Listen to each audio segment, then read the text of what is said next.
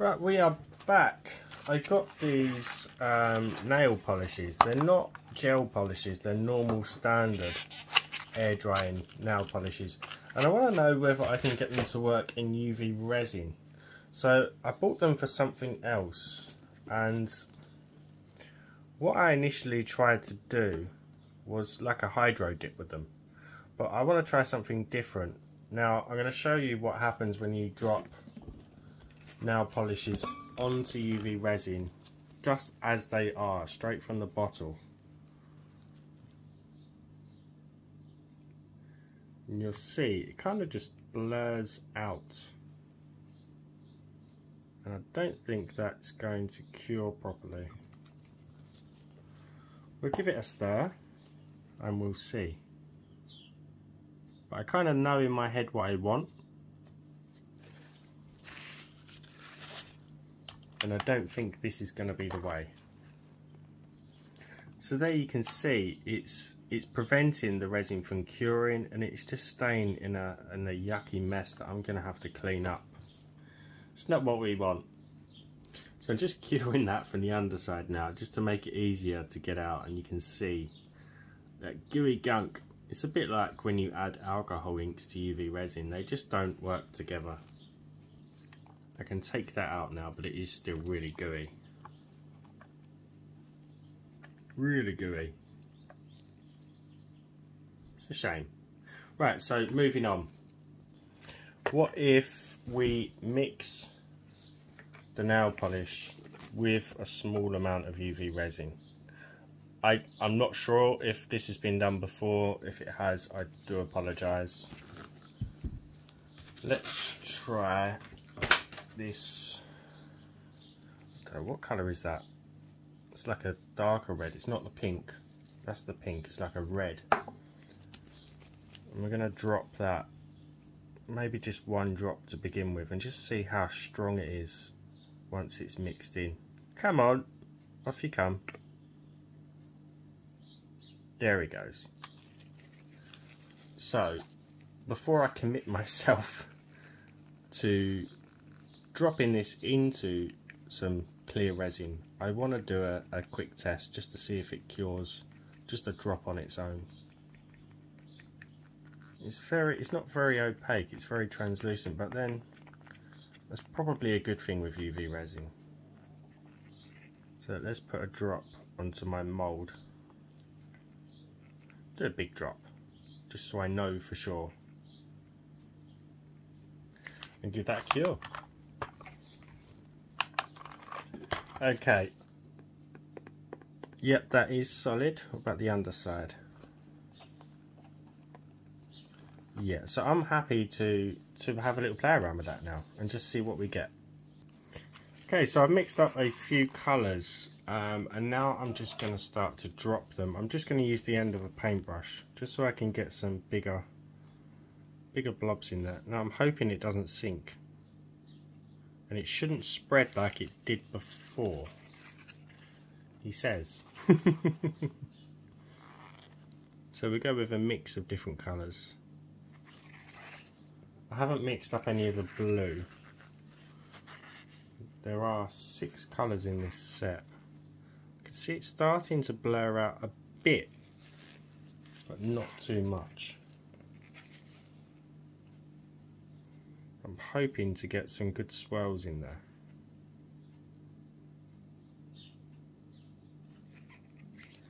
What haven't we got in there? Some yellow.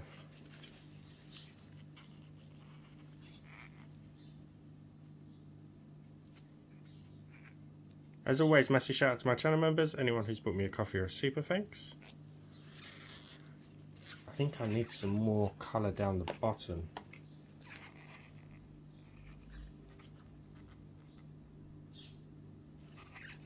And just drop it any way you like. Right, now for the swirl. I really need to clean up my stick. My resin's starting to set. Oh, no! Let's cure it anyway.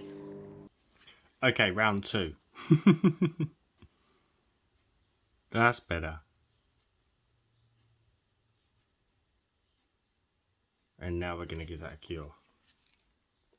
And these ones have got a nice neon glow to them as well. I do actually, this set that's standing up here is a glow in the dark set. So I may try that on a, different video. So they're curing really well, no issues there. I'm going to have a little play around with some different swells and different colours and I'll see you for the next bit. So with the heart I'm just going to spin the middle and hopefully we'll get that really cool effect that we've done in previous videos.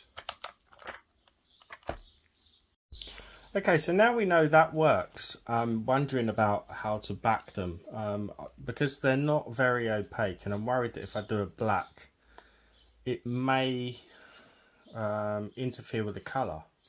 And I've also forgot to cure the underside just in case. And actually I've kind of answered my own question by flipping the mould because my my mat is black so I can't see it being an issue.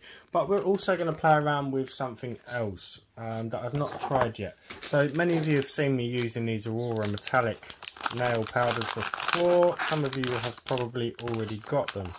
Now, I'm going to have a play around with a couple of colours that I've not used yet. It's like a white, but maybe it will give us a mirrored effect. And it's also like a chrome rainbow colour.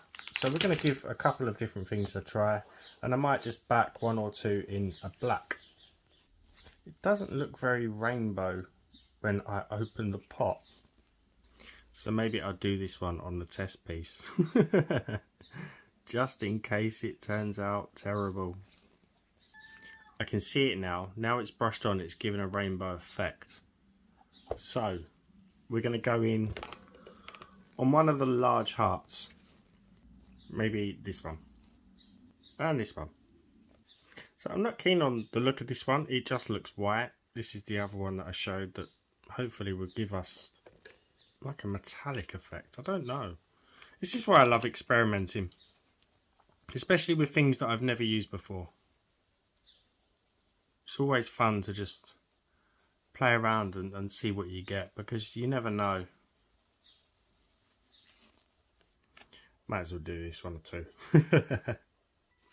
now that is crazy. And I'm now thinking, do I just do that in there? Uh, I've got to. And that means sacrificing the one that I was just going to do black. Look at that colour. So I'm going to keep one plain. I'm just going to top that up with clear. And I'm going to back the rest with black. Uh, just a small amount of black mica powder mixed in with my UV. Right, see you for the exciting part. So it is now time to see what we've got.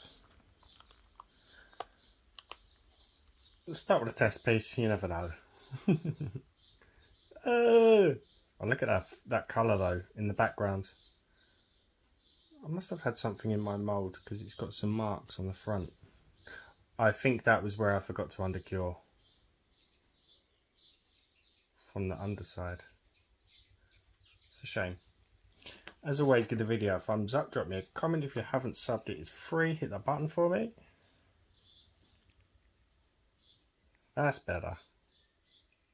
That was just the, the silver.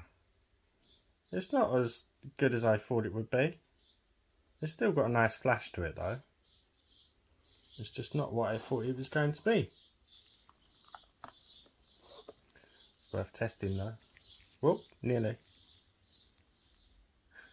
So it's just an alternative, just a play around idea. If you've got nail polishes, you, you can use them to colour your UV resin. Just don't go too overboard with it. The hearts, I think, are going to be the best ones. Not keen on that colour combo. if I'm completely honest. Let's start with the clear one. The one that I didn't add the black background to. Let's see what, look at that flash. Have to use this a bit more often, I think. Wow. Needs a bit of a trim down. Oh, look at that. That is really, really cool. And that flash is so bright. Definitely need to play with that powder more. That is stunning. The colours aren't as strong as I thought they'd be. I could have maybe added a few more drops of the polish. What do you think? Or is it okay as it is? I'm not sure if the black is going to have made much of a difference because it's very solid. You can just see through. But we're going to find out. Let's see what we've got. It has made a difference. You can only minor. You can tell. You can just tell. I think it's more vibrant, but look at that. That is absolutely incredible. Really flashy, really colourful in any light. Love it. Right, I hope you enjoyed that one. Um, another crazy little experiment. and I will see you for the next one. Bye for now.